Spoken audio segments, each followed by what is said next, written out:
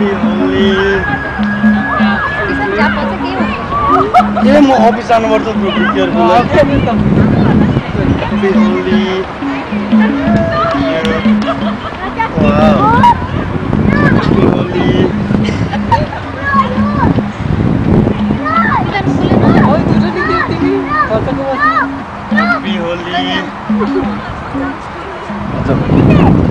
नचलेको होली के हो होइन मैले अघि नै लागेको थिएँ आज द थ्यारो कन्भेन्सन आज टु टेक